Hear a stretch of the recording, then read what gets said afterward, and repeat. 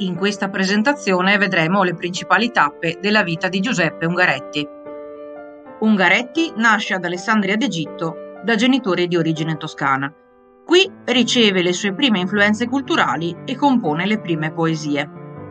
Nel 1912 si trasferisce a Parigi dove frequenta l'università e si immerge nel fiorente ambiente culturale dell'epoca. Nel 1915 dopo aver pubblicato le prime poesie, è chiamato in guerra come soldato semplice e combatte prima sul Carso e poi sul fronte francese.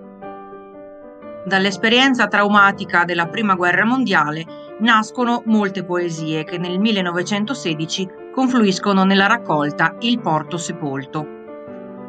Dopo la guerra, Ungaretti ritorna a Parigi e qui sposa Jeanne Dubois, dalla quale avrà due figli del 1919 è la raccolta Allegria di naufragi, che comprende anche le poesie presenti nel Porto Sepolto.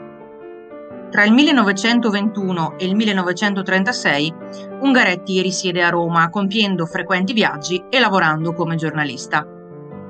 Nel frattempo proseguono le pubblicazioni di raccolte poetiche. Al 1931 risale infatti L'Allegria. Nel 1933 il poeta pubblica la raccolta Sentimento del tempo, nella quale ritorna a forme stilistiche più tradizionali rispetto alle raccolte precedenti. Tra il 1937 e il 1942 Ungaretti è a San Paolo in Brasile e insegna letteratura italiana.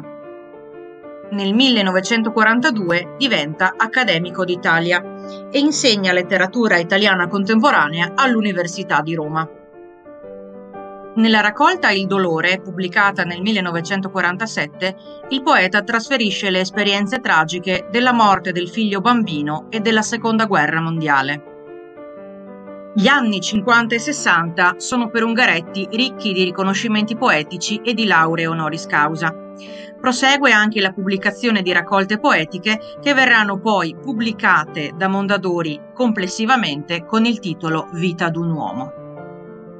Ungaretti muore a Milano a 82 anni.